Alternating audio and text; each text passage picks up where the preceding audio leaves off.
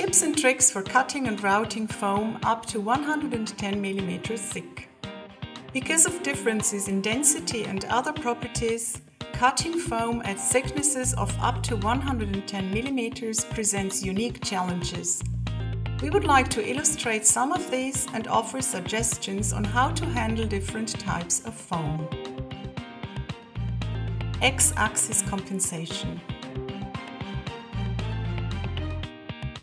Without x-axis compensation, blade properties and material thickness can lead to clearly visible conical distortions in the cup shape.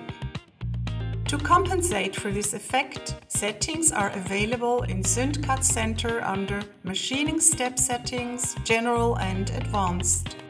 The selected value should be tested before proceeding.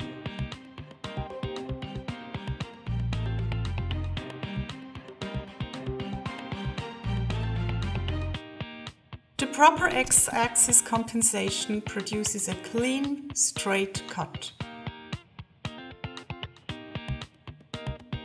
Radius limitations. Because of the blade geometry, radii smaller than 13 mm are difficult if not impossible to cut cleanly. The blade has a tendency to displace and tear the material. This is an example of two circular cuts, one greater, the other smaller than 13 millimeters. Tool selection. Because of their properties, soft foams are cut with the pneumatic oscillating tool. This tool has a longer stroke which optimizes the cutting action. For foams with greater dimensional stability, Either the pneumatic or the electrical oscillating tool can be used. The difference between the two lies in the processing speed. Blade types. There are two types of blades available for cutting foam. One has a pointed tip, the other a flat tip. The following example shows how the results differ between the two types. If a flat-tipped blade is used for cutting softer foam, it will displace the material as it plunges into it, causing it to tear. This example shows a pneumatic oscillating tool cutting softer foam using a pointed blade. Another important consideration for selecting the right blade is the blade length in relation to the thickness of the material, which impacts both cut quality and processing speed.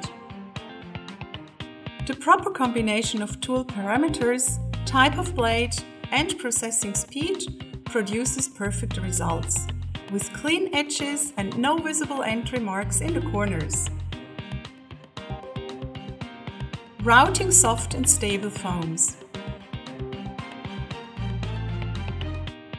Zünd also offers the option to use a router for cutting foam.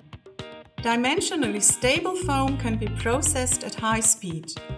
The cleanup pass should be performed at the suggested maximum speed of 50 mm per second. Softer foams can be routed as well. For this type of material, both the routing and cleanup pass should be performed at the recommended maximum speed of 50 mm per second. With the correct settings, it is possible to achieve perfect results when routing either type of foam.